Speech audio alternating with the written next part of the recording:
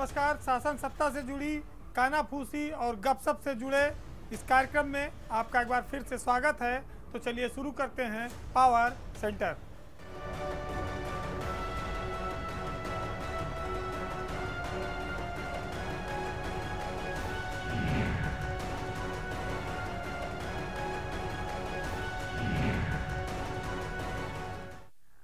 उत्तर प्रदेश में मंत्रियों और सरकार के बीच स्थिति यह है कि जैसे जैसे दवा की मर्ज बढ़ता गया, मामला मंत्रियों और अफसरों के बीच तनातनी से जुड़ा है, विरोधाभासी खबरों से जुड़ा है, जिनका दौर लगातार जारी है। उत्तर प्रदेश में कुछ ऐसे विभाग हैं, जिनके साफ़ तौर पर मंत्रियों और प्रमुख सचिवों के बीच अनबन की शिकायतें आती रहती हैं। लेकिन योगी पार्ट टू में अधिकारी और ज़्यादा मज़बूत होकर उभरे हैं। वो अपने मंत्रियों पर भारी पड़ रहे हैं। तबादलों को लेकर सबसे पहले जो विवाद आया, वो स्वास्थ्य विभाग में आया और जिसकी बदनामी पूरे प्रदेश में हुई।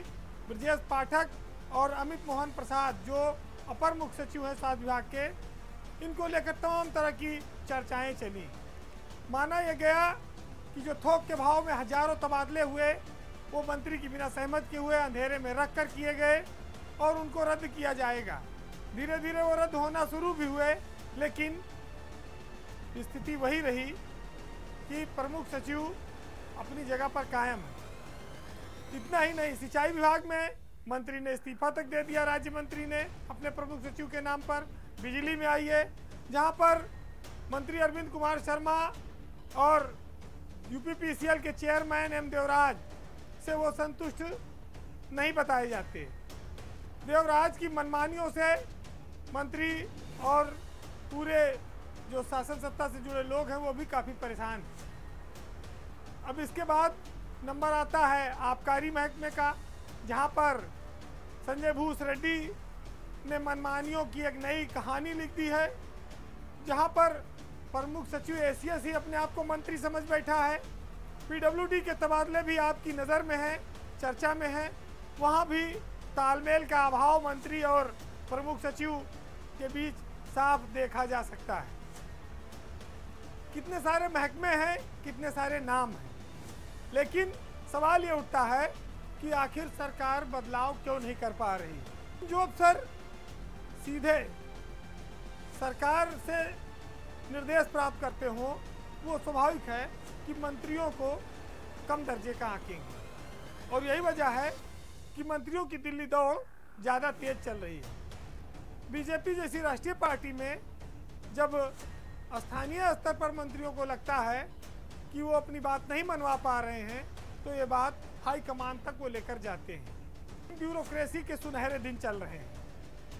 मंत्रियों के न चाहते हुए भी, डिप्टी सीएम के भी न चाहते हुए भी वो पूरा आनंद ले रही है और मनमाने भी ढंग से विभाग चला रही है। क्या प्रमुख सचिवों के अधिकार मंत्रियों से ज़्यादा हैं या वो इस अधिकार का बेजा इस्तेमाल कर रहे हैं। और अगर बेजा कर रहे हैं तो किसके दम पर कर रहे हैं? बहुत सारी बातें खुली किताब की तरह हैं, लेकिन कहने वाला कोई नहीं। सरकार नई नई है, पाँच महीने हुआ है, जो सियासत में इस चुन कर आए हैं, इस पद पर पहुँचे हैं, वो शायद ज़्यादा पंगा लेना नहीं चाहते। वो इंतज़ार करते हैं, वो उचित फोरम पर अपनी बात ले जा रहे हैं।